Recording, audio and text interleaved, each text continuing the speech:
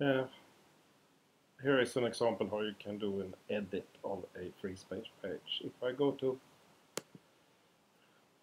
Ebba Henrietta Munk, so this is a page, and on this page we have a timeline, and then we have about the grave, family grave, it's Swedish. So in this page, this part is transcluded, and when I click on it, I go to the free space page. Where I have a picture of the graves, and this page is transcluded on more pages. So if I go back to this page, I would like to edit the transcluded page. It is the same as I added the biography. So the edit here, as you see now, I'm on Monk of Fulkila 84, and if I click edit,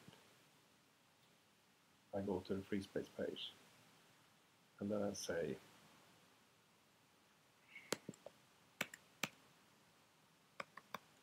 Magnus was here.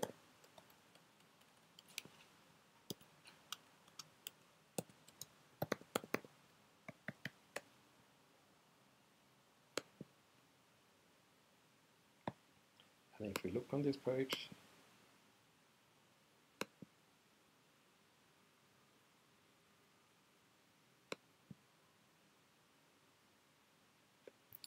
we have Magnus was here.